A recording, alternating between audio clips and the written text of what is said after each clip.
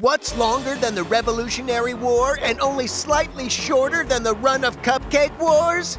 Halle Berry has finally resolved her divorce. Halle Berry's eight-year divorce from Olivier Martinez! War is hell.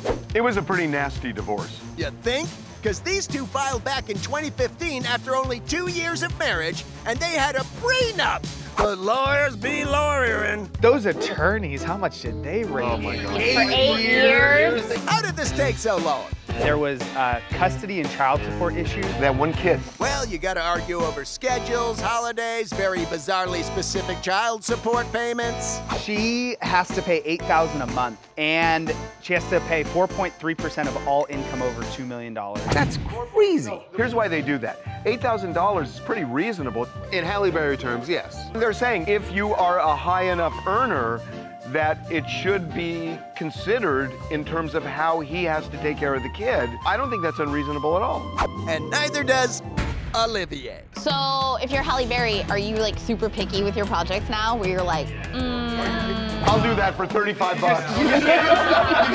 Olivier is like her biggest rep now. He's like, you guys need Halle Berry, let me tell you.